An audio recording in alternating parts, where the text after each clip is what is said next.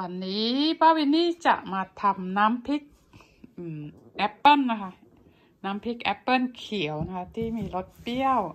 แล้วทีนี้พอเราตอนเราเอซอยนะคะ ซอยด้วยเอเครื่องเอตัวซอยมีซอยแบบนี้นะคะ กีวีเนี่ยนะคะ ซอยเหมือนมะม่วง คือไม่ไม่ปอกเปลือกนะคะ พอพอซอยซอยปุ๊บรีบบีบมะนาวเลยนะคะ เพราะว่ามันจะเป็น มันจะมีเออปฏิกิริยากับอากาศแล้วก็เป็นสีดำน้ำตาลได้นะคะ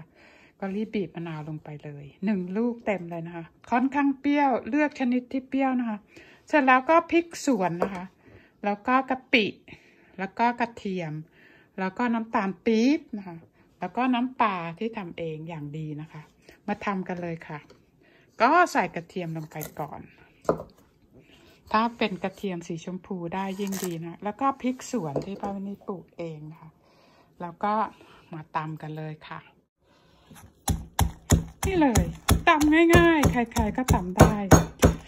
เออแต่ว่าวันนี้ที่ที่แปลกไปอีกอย่างหนึ่งก็คือ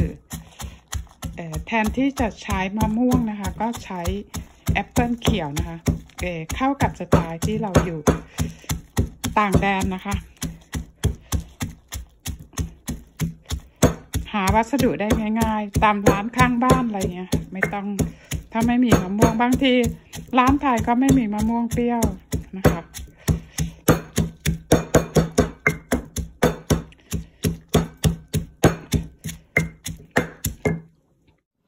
ก็ตำได้ประมาณนี้เลยนะคะ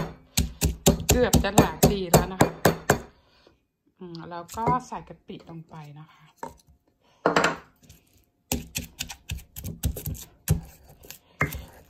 ็ป้าวันนี้ก็ใส่ขนอผักนะคะที่ที่ไม่มีเกลือนะคะ เป็นเป็นผักล้วนๆเป็นขนออย่างดีนะคะ ใส่ลงไปคล้าย ๆ กับเป็นผงชูรสแล้วก็ใส่น้ำตาลลงไป น้ำตาลปี๊บอย่างดีเช่นกันนะคะ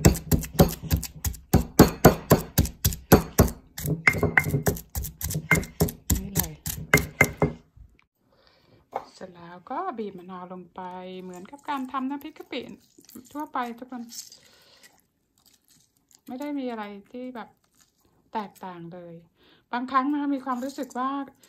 หลายอย่างหลายหลายเมนูนะคะ คนไทยทุกคนทำได้ แต่ว่าเราเอามาลง YouTube ไม่ทราบว่าเขาจะมีความรู้สึกยังไงนะ แต่ว่านี่ก็คือ อยากจะบอกให้รู้ว่าเเมนูแอปเปิลเขียวเนี่ยป้าวินนี่ชอบทำคือ จะใช้วัสดุที่ที่ไม่ต้องไปซื้อจากร้านไทย ที่อยู่ไกลจากบ้านนะคะทีนี้ก็จะปรุงรสตามชอบเลยนะคะมะนาวใส่แค่ครึ่งครึ่งลูกนะคะ แล้วก็เออแอปเปิลนะคะแล้วก็ใส่น้ำปลาลงไปแป๊บหนึ่งรอแป๊บหนึ่งค่ะนี่เลยน้ำพริก ก็จะออกมา สีชมพูแบบนี้นะคะ น่ากินมากเลย เสร็จแล้วก็จะใส่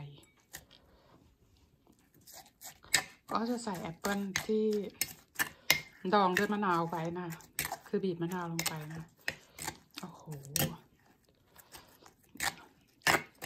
ไม่ต้องบอกก็รู้เลยว่าอร่อยมาก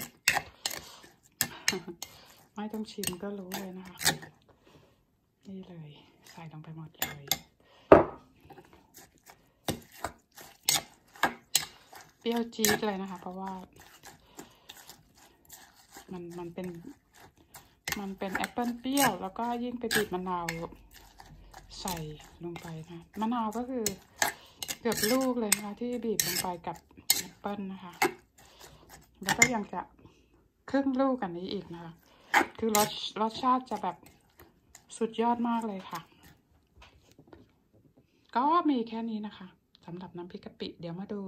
การจัดเสิร์ฟกันเลยนะคะ นี่เลยน้ำพริกนะคะ น้ำพริกแอปเปิ้ลเขียวนะคะ ก็เสร็จแล้ว เดี๋ยวนะ โอ้โหจิ้มลงไปทั้งถ้วยเลยแบบนี้เลยนะคะ อร่อยมากเลยนะคะ ทุกคน อือหือไม่ผิดไปจากน้ำพริกมะม่วงเลยนะคะ อืม สำหรับคนที่อยู่ต่างแดนนะคะ ใช้ได้เลยนะคะน้ำพริก แอมน้ำพริกแอปเปิลนะคะแอปเปิลเขียว ใช้แทนมะม่วงเปรี้ยวได้เลยนะคะ มากินด้วยกันเลยค่ะ มีข้าวสวยร้อนๆแล้วก็ผักนะคะ เยี่ยมมากเลย